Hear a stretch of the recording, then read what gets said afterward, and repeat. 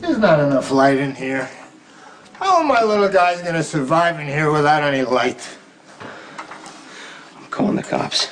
About this pathetic lighting situation? Good. Tell them to bring some donuts.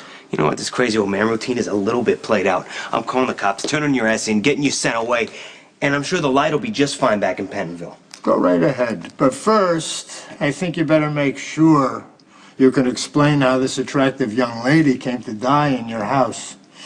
Shot dead by your gun. Good, that's a smart move. Self-preservation's always the wiser choice. There might be hope for you Shut yet. the hell up. Easy now. Your bad attitude's rubbing off on my guys. Go to hell and take your guys with you. You relax. You made the right call.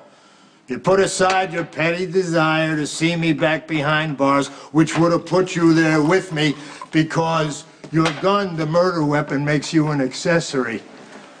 I've been doing this a long time, kid. You need me around for my wisdom. And you're never going to take down Sonny without my help.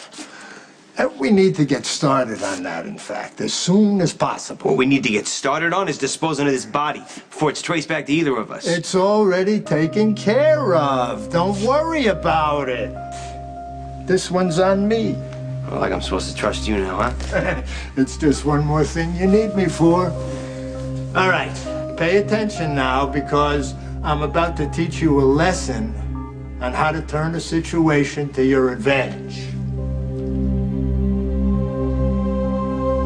Easy. Slow down, you morons. This has to be done just right.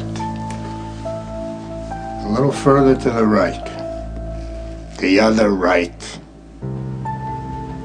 Turn her around. Perfect. it's a beautiful thing. Corinthos is gonna love this.